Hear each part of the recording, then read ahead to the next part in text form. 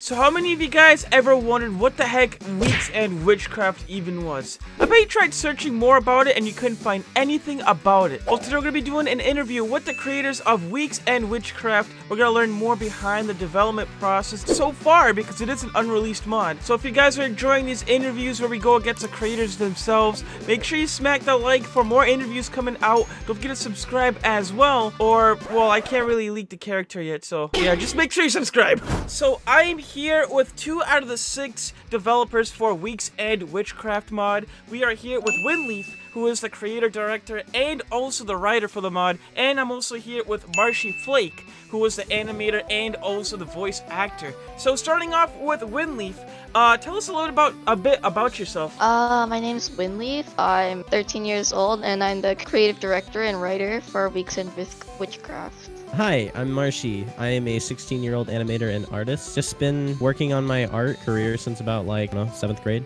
What was your two reactions when uh, Funky Friday contacted you about adding your exclusive mod demo in? Actually, I contacted Java first. He was super chill with it. Like, he was like, sure, we could do it. And then I went and told my team, and they went like, we all lost Fogger. our minds. Yeah, lost our minds. Yeah, they well they did, and I was like, okay. So what inspired you to make this an uh, exclusive mod demo for Funky Friday? Honestly, Funky Friday is it's like a home community for me. Like I've been there for a long time, ever since the old server when it was still the Row FNF tournament server. Like I've been here forever. I remember everything. When I knew I wanted to start making a mod, I just knew I had to share it with them and also, because of we were making a demo, putting it in Funky Friday would gather more hype because we have very ambitious plans for this mod. Like, not many mods out there have ever done a demo on Funky Friday, so it's really cool seeing your mod, you know, being able to do that. So, will the charting be the same as in Funky Friday, or is it going to be a little bit different? Of course it'll be the same, unless Stomp gets picky about something, which yeah. honestly will probably have it happen. I don't think it will. What inspired you to create the mod itself? Honestly, this started out chart-wise.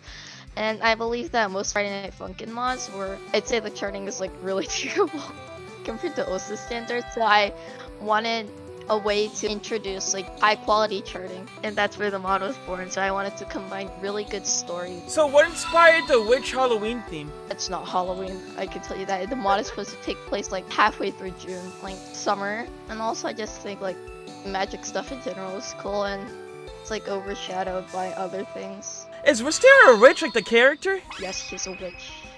I would say that it's based on wins on OC. Yeah, I drew lots of inspiration from my own character, which I'm slightly guilty about. Um, I'd also say I drew a lot of inspiration from Cookie Run because like I religiously play that game, and there's so much creative stuff in there. It all the mod also kind of revolves around like magical flowers and stuff. Since you created a demo for the character Wystera, I'll show like a little bit of a character sheet on the screen so the viewers can take a sneak peek at it. But what inspired the creation of the character? Lots of things. Cookie run my own original character, like magic in of itself, like flowers. Just wanted to something to be fresh out of the norm from what we've normally seen for Friday Night Funkin' mods. So how come this like a tail of fire like at the end of the hat? That's actually a spark and it has to do with like I like to describe it her explosive personality. Oh, that's really cool. I like that. That's a really, that's a great touch right there. How did you create her voice? Because it sounds very pleasant, especially in the songs. It's actually a tweaked version of an existing UTAUloid. Yamine Renri. Basically, we took Renri's voice and then we made a sanfon of Cyan made a sanfon of it. And then she added some talk box chorus, at the low frequency delay and reverb, and you have her voice.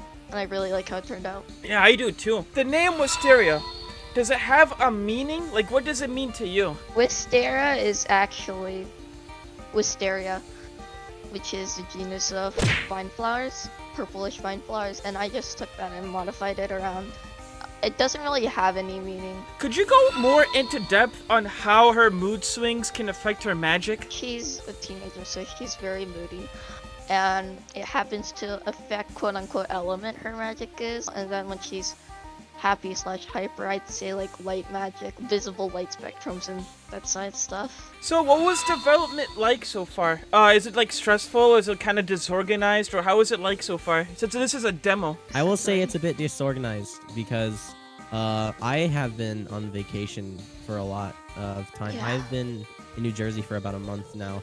and it wouldn't be as disorganized if I didn't forget my drawing tablet. With this Funky Friday, I think it's gonna help with how long it's probably gonna take for this mod to come out now because Help boost of our how morale. slow the development has been. Like- but I think that people will keep with the mod um, as long as they like it in Funky Friday. So I hope that it stays strong. The one thing he forgot was his drawing tablet, so now the art stuff is all pushed back. Yeah, just don't let it discourage you. You gotta keep moving, you know? Like, one way or another, you gotta keep moving. How did you meet your team? Most of us met in Funky Friday. It started with me and Somp, because I was like, we should make a mod together. And then Somp contacted Zion because they're one of their friends. And I also contacted Marshy because like, hey, we're doing a mod. Do you want to help out? And he's like, sure. Really, Zenith actually referred to us because we were looking for voice actors because we're plan- planning voice acting. So, which parts have you finished with the mod so far? We finished songs one and two and their Heart and Dimension shorts because they're already in the demo. We finished working on Wystera's design, her first and second phases. I honestly I want to polish her more as a character and her personality. Titan's done with song three. Since the art is taking the longest, what would you say was the hardest part during development so far? I like to be very nitpicky. I'm guilty of that, but She's not joking. She's very nitpicky. I'm very nitpicky. I'm sorry. I want this to be a good mod. Is there gonna actually be voice acting in the mod when it comes out? All cutscenes are going to be voice acted. Any leaks that you'd be willing to share with the viewers? I actually have a bit of song 3 that I'd like to share. Song, yeah, it bangs really hard. Like, the full version is so good. Sam knocked it out of the park with this one, and I'm just praying that song 4 is even better and song 5 is the best.